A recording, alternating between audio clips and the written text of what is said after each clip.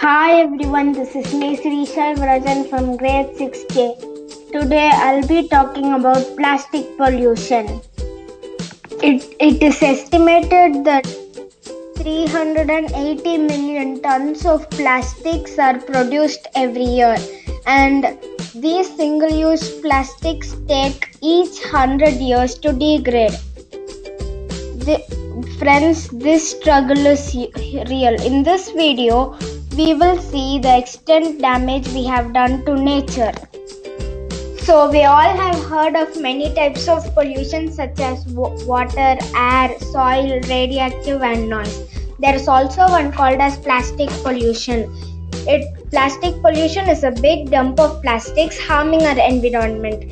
The plastic pollutants are categorized into two forms: micro debris and macro debris they are uh, different uh, they have different size but same equal impact. So did you guys know that plastic have reached the highest peak and the uh, deepest seafloor on earth? Yes.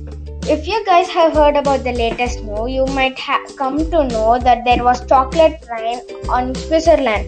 It's because of the coconut escaping from the factory and entering the atmosphere came down as rain same did with the plastic which reached Mount Everest. So, we all use pencil to write. It decomposes very quickly. But do you know how much time will a plastic take to decompose? Yes, a plastic cup takes typically 50 years to decompose. A disposable nappy will take 450 years and a beverage holder 400 years. And a fishing line takes 600 years to decompose so what? The ocean is very large and the earth is also very large. Is it really gonna impact us? Yes. In a study of 2017 uh, it is shown that sa- samples were taking a, taken across the world and 83% of the water samples had plastic pollutants it means humans are intaking plastic pollutants every day in their lives. So that's it for this video, uh, friends. In my next video, I will share how many organizations and innovations that human made is really helping to tackle this pollution issues.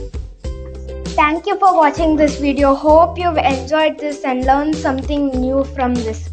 If you did, please subscribe and smash that like button and don't forget to comment down below what would you like us to present next.